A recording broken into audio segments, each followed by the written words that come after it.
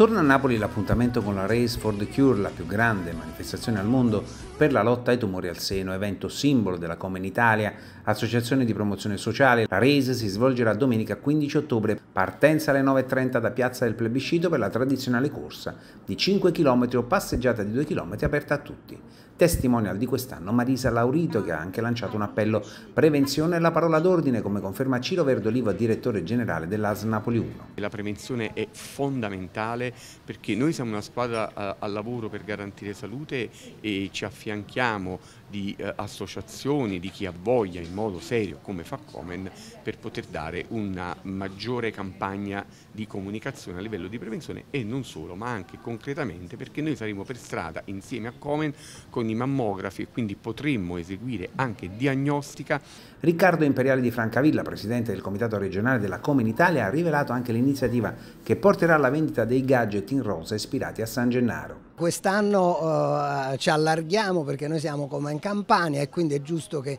ci sia in tutta la Campania una maratona, la Race for the Cour si sposterà quindi con una sorta di staffetta ideale a Mercogliano, a Capo, alla Reggia di Caserta, a Salerno. In sala giunta a Palazzo San Giacomo è intervenuta anche Maria Grazia Falciatore, capo di gabinetto del Comune di Napoli, Marcella Montemarano, responsabile del centro screening senologico di primo e secondo livello dell'ASL Napoli 1 ed Emanuela Ferrante, assessore allo sport e alle pari opportunità del Comune di Napoli. Con questa maratona eh, può, vogliamo dimostrare che eh, innanzitutto teniamo alle nostre donne e soprattutto che le donne e, so, e quelle donne che hanno grandi difficoltà eh, dal punto di vista purtroppo di salute possono attraverso lo sport risollevarsi Grazie a un protocollo d'intesa con il Ministero della Cultura nei giorni della manifestazione tutti gli iscritti alla RACE possono beneficiare dell'ingresso gratuito nei musei. Affiancherà la settima Race for the Cure a Napoli la Carovana della Prevenzione, il programma nazionale itinerante di promozione della salute femminile di Comen Italia. Corse, camminate e altri eventi accompagnati sempre dalla carovana